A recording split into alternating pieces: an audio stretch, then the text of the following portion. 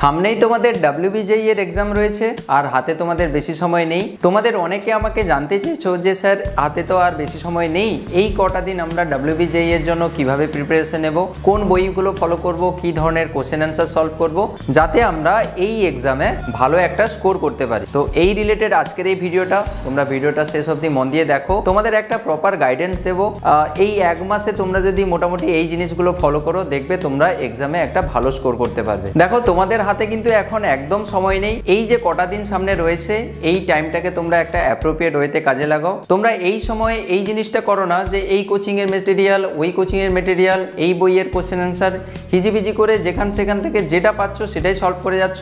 এই জিনিসটা একেবারেই করো না। এরকম যদি করতে থাকো, তাহলে দেখবে তোমার মাইন্ড কনফিউশনে পড়ে যাবে। তুমি অ্যাকচুয়ালি যে প্রিপারেশনটা ভালো করে নিতে চাইছিলে, তার বদলে তোমার প্রিপারেশন কিন্তু খারাপ হয়ে যাবে। তোমাদের একটাই সাজেশন তোমরা এই সময় শুধুমাত্র ডাব্লিউবিজেই এর previous year question paper solve করো, ওটাকেই ফোকাস করো। Previous year question paper solve করার একটা টেকনিক রয়েছে, সেটা আমি একটু পরে ডিসকাস করছি। তার আগে বলে নিই তোমরা প্রিভিয়াস ইয়ারের কোশ্চেন পেপার কোথা থেকে সলভ করবে। তোমরা এমটিজির লাস্ট টেন ইয়ার্সের কোশ্চেন পেপার পেয়ে যাবে না হলে আরিহান্ত পাবলিকেশনেরও লাস্ট টেন ইয়ার্সের কোশ্চেন পেপার পেয়ে যাবে। এই সকল বই তোমাদের নিয়ারেস্ট কোনো অফলাইন স্টোর থেকেও পেয়ে যেতে পারো এবং অ্যামাজনে ভিজিট করেও তোমরা পেয়ে যেতে পারো। তোমরা যখন এই সকল কোশ্চেনগুলো সলভ করবে সলভ করার সময় কয়েকটা জিনিস একটু মাথায় রাখবে। দেখো কোশ্চেন পেপার সলভ করা এই অর্থ নয় যে তুমি জাস্ট কোশ্চেন রয়েছে প্রিভিয়াস ইয়ারের কোশ্চেন তুমি সেটাকে সলভ করে চলে গেলে দিয়ে নেক্সট কোশ্চেনে চলে গেলে। এই রকম ভাবে সলভ করো না। যখন কোশ্চেন পেপার সলভ করবে, একটা পার্টিকুলার টপিকের উপরে কোশ্চেন দেওয়া রয়েছে। ওই টপিকটাকে একটু অ্যানালাইজ করে দেখবে যে ওনারা কোন অ্যাঙ্গেল থেকে ওই কোশ্চেনটাকে সেট করেছেন এবং তোমার অ্যাট দ্য সেম টাইম যেন মাথায় আসে যে এই টপিক থেকে আরও ডিফারেন্ট টাইপের কোশ্চেনও ফ্রেম করতে পারেন ওনারা তো সেই টপিকটা যদি অনেক আগে থেকে হয়তো তুমি পড়েছিলে, তোমার এখন ভুলে গেছো, তুমি আহ, মনে করতে পারছ না তাহলে খুব তাড়াতাড়ি তুমি সেটাকে ভালো করে রিভিশন করে নাও। তারপরে সেই টপিকে ফিরে এসো দিয়ে কোশ্চেন সলভ করতে পারছ কি না দেখো। এই রকম করে করে তুমি যখন কোশ্চেন পেপার সলভ করবে প্রিভিয়াস ইয়ারের তাহলে দেখবে অ্যাট দ্য সেম টাইম তোমার কোশ্চেনও সলভ করা হয়ে যাবে এবং সেই সঙ্গে ওই টপিকটা রিভিশনও হয়ে যাবে।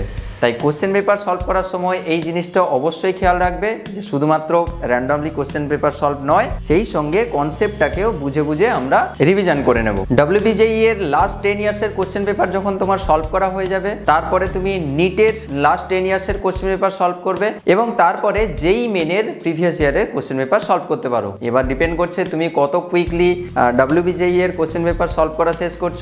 যত তাড়াতাড়ি তুমি শেষ করবে তত তাড়াতাড়ি তুমি অন্যান্য এক্সামের যেমন নিট যেই মেনের এই সকল কোশ্চেনগুলো তুমি সলভ করতে পারবে। তো তোমাদের আমি সাজেস্ট করছি যে হাতে একদম তোমাদের সময় নেই। মাত্র কয়েকটা দিন রয়েছে। এই সময় অন্য কোনো কোচিংয়ের মেটেরিয়াল অন্য কোনো কোশ্চেন এই সকল জিনিস না ফলো করে প্রিভিয়াস ইয়ারের কোশ্চেন পেপার ফলো করো এবং সেই রিলেটেড কোশ্চেন সলভ করো।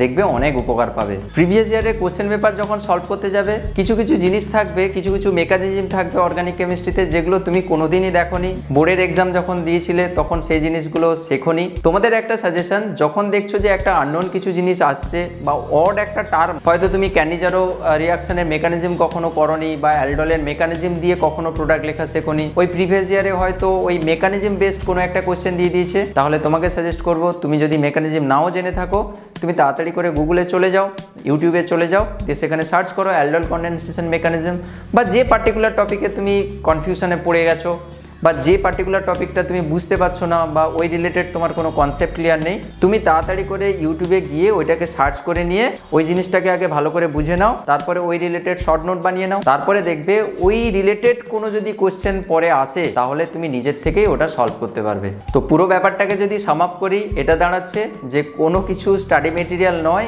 এই কম সময়ের ভেতরে শুধুমাত্র ডাব্লিউবিজেই এর লাস্ট টেন ইয়ার্সের কোশ্চেন পেপার বিশেষ করে লাস্ট পাঁচ বছরের কোশ্চেন পেপার অবশ্যই ভালো করে সলভ করো এবং অ্যানালাইজ করে সলভ করো। দেখবে তুমি এক্সামে অনেক ভালো স্কোর করবে। আশা করি ভিডিওটা তোমাদের অনেকখানি হেল্প করবে। যদি ভালো লেগে থাকে অবশ্যই একটা লাইক করে দাও। আর এই ইনফরমেশনটা খুবই ক্রুশাল তাই তোমার বন্ধুদের সঙ্গে অবশ্যই খুব তাড়াতাড়ি শেয়ার করে দাও। দেখা হচ্ছে নেক্সট ভিডিওতে this is NKD and signing off